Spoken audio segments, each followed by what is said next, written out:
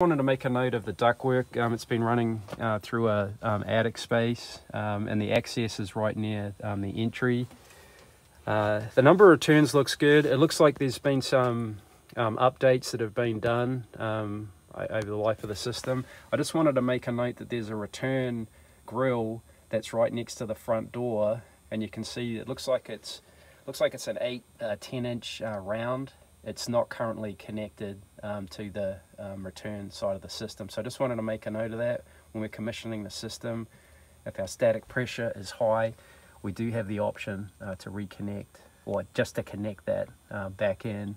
You can see the main kind of trunk that's making its way back.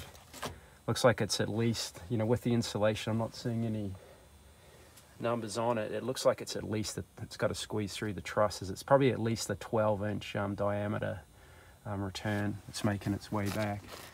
You can see the main um, supply trunk um, that's feeding. Uh, primarily uh, looks like it's all flex insulated um, running through this um, attic area. Uh, that's it. And then just as far as the condensation drain, um, you, you, saw a pump in the closet.